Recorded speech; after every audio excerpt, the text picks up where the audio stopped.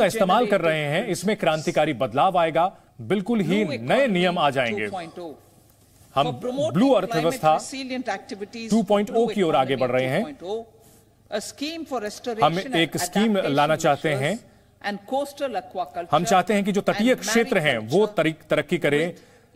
हमारे जो समंदर से जुड़े हुए लोग हैं उनको फ़ायदा हो इसके लिए एक स्कीम लॉन्च की जाएगी। जो भी पर्यटन केंद्र हैं उनका विस्तृत विकास हो सके ये सुनिश्चित करेंगे जी ट्वेंटी का की हमने अध्यक्षता बहुत सही तरीके से की और इसकी साठ जगह यहाँ पर अध्यक्षता की गई और इससे जो विविधता थी ये पूरी दुनिया के सामने भारत की विविधता आई और भारत के जो आकर्षक क्षेत्र हैं वो दुनिया की नज़र में आए और इससे पर्यटन को फ़ायदा होगा। हमारा जो मध्यम वर्ग है और हमारा जो मिडिल क्लास है हमारा जो मध्यम वर्ग है वो खूब घूमना चाहता है और हम जो इसके साथ साथ धार्मिक पर्यटन को भी जोड़ना चाहते हैं क्योंकि इसमें बहुत ही विकास की संभावनाएँ हैं जिससे स्थानीय स्तर पर उद्यमों को फ़ायदा मिलेगा जो राज्य हैं उनको हम प्रोत्साहित करेंगे। हम चाहते हैं कि जो उनके जो राज्य हैं उनके पास जो आकर्षक पर्यटन केंद्र हैं उनकी वैश्विक स्तर पर ब्रांडिंग की जाए। हम इसके लिए एक रूपरेखा तैयार करेंगे। हम चाहेंगे कि जो उच्च गुणवत्ता वाले जो जो सेवाएँ हैं वो लोगों को उपलब्ध कराई जा सके। पर्यटन के क्षेत्र में अपार संभावनाएँ हैं और ऐसे में उन्हें दीर्घकालिक जो कर्ज है वो भी हम उपलब्ध कराना चाहते हैं जो भी पर्यटन के क्षेत्र में आगे बढ़ना चाहते हैं। और हम अगर अपने घरेलू पर्यटन की बात की जाए तो माननीय स्पीकर महोदय हम बताना चाहेंगे कि जो हमारे बंदरगाह हैं उनके साथ संपर्क बढ़ाना चाहते हैं और साथ ही साथ जो हमारा पर्यटन का जो इंफ्रास्ट्रक्चर है आधारभूत ढांचा है उसको बढ़ाना चाहते हैं। इसमें हम लक्षद्वीप जो हमारे तटीय क्षेत्र हैं जैसे लक्षद्वीप उनको भी हम जोड़ना चाहते हैं। इससे हमें रोज़गार के मौके बढ़ाने में भी मदद मिलेगी। हम निवेश भी बढ़ाने में हमें फ़ायदा मिलेगा। ड्यूरिंग अगर हम एफडीआई की बात की जाए 596 बिलियन यूएस डॉलर्स इसमें बड़े पैमाने पर बढ़ा है और एक स्वर्णिम क्षेत्र शुरू हुआ है एफडीआई में।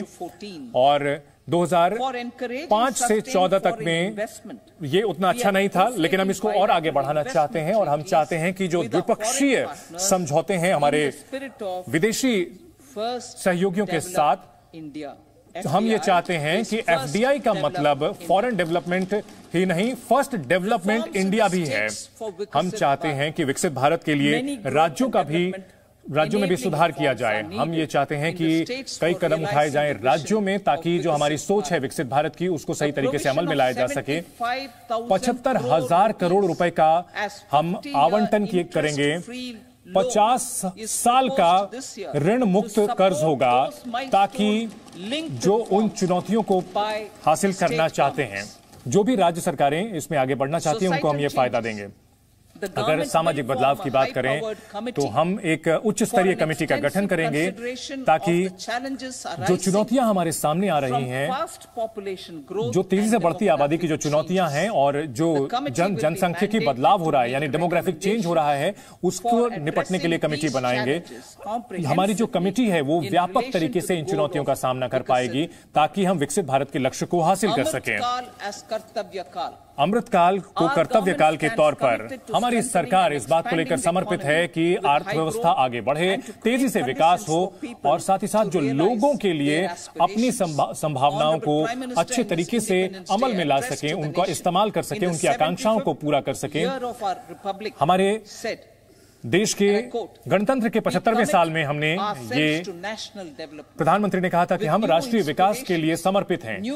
हम चाहते हैं कि लोग नई आकांक्षाएँ करें नए लक्ष्य हासिल करें और भारत आगे नई चुनौतियों के लिए तैयार है।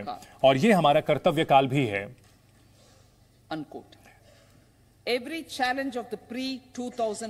दो हज़ार चौदह से पहले जितनी भी चुनौतियाँ थी उनको हमने पार पा लिया है और हमने आर्थिक प्रबंधन बेहतर किया है और हमने बेहतर शासन दिया है। हम एक ग्रोथ टिकाऊ आर्थिक वृद्धि की दर बहुत तेज़ी से आगे बढ़ रहे हैं और इसके लिए हमने सही नीतियाँ अपनाई हैं हमारी नीयत सही है और हमने सही कदम उठाए हैं।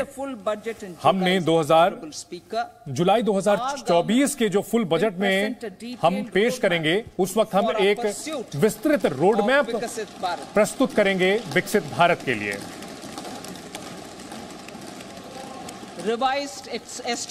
और संशोधित जो एस्टिमेट है 2023-24 का जो रिवाइज एस्टिमेट है कुल प्राप्ति जो कि कर्ज के अलग है वो सत्ताईस दशमलव सिक्स दशमलव छह पाँच लाख करोड़ है। इसमें से टैक्स प्राप्तियाँ तेईस दशमलव दो चार लाख करोड़ रुपए है।